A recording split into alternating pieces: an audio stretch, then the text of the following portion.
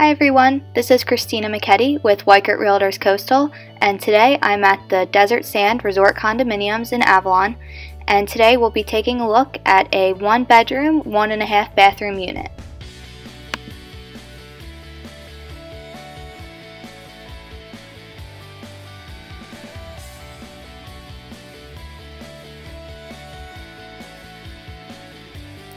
This is a newly renovated 69 unit property located at 79th and Dune, just one block away from the beach. This is a great location featuring Marina Cole's restaurant on site and you are also just across the street from the restaurants and bars at the Icona and the Windrift. The Stone Harbor soccer field and tennis courts are also just one block away.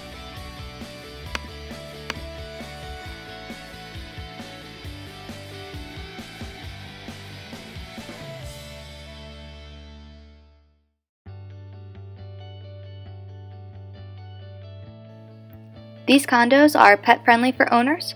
You'll also find a fitness center and two pools on site, both indoor and outdoor.